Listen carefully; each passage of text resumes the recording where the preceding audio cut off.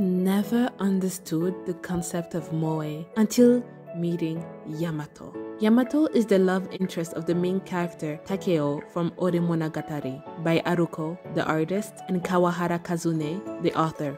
Yamato will set your heart aflutter, while a real life version will be aggravating to say the least. As a character, she is very likable, and not just in the manga.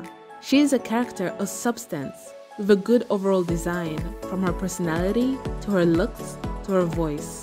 Ore Monogatari is a shoujo romantic comedy with a bit of slice of life about the strong, tall, and ripped teenager Gouda Takeo.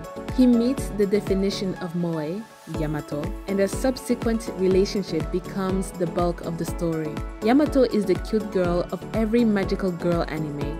She has an adorable high voice, courtesy of Megumi Han, beautiful hair, cute style, and a cuter personality.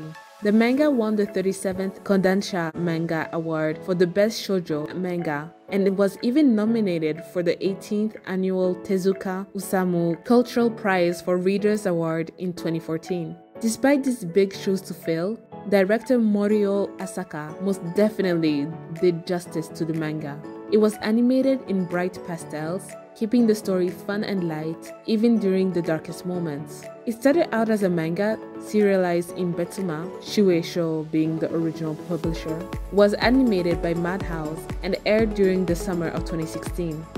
If Lovely Complex was right up your alley or you wish to satisfy your sweet tooth, Ore Monogatari is for you.